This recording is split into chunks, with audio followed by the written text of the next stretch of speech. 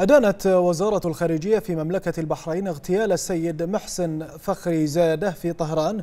وشدد بيان وزارة الخارجية على ضرورة تكاتف جميع الجهود لتخفيف التوتر والحؤول دون التصعيد في المنطقة وحماية الأمن والاستقرار.